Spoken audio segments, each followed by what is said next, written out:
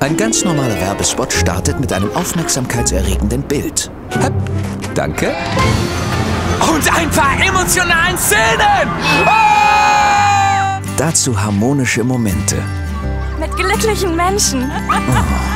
Ein ganz normaler Werbespot zeigt möglichst früh das Produkt. Und das macht meist jemand, der besser aussieht als ich. Und dem man deshalb auch die banalste Botschaft abkauft. Freedom is in you. Dazu noch ein paar Bilder, die irgendwie Freiheit sagen. Ja, ist klar.